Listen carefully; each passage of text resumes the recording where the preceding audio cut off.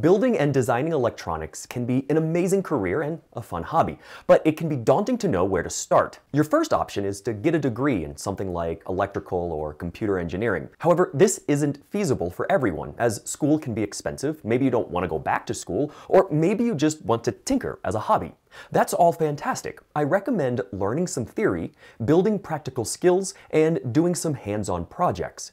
For theory, I'm going to give you some free or low-cost resources. There are lots of books out there to get you started. My two favorites are Practical Electronics for Inventors and Getting Started in Electronics, both of which you can get from DigiKey. For videos, DigiKey's channel is a great place to start, and not just because I'm there. Khan Academy's YouTube playlist covers all of the basic theory you'll need for just about any circuit analysis and design. Also, MIT has its entire circuits and electronics course available for free on OpenCourseWare. Electronics and circuits can take a while to learn, so take it one step at a time.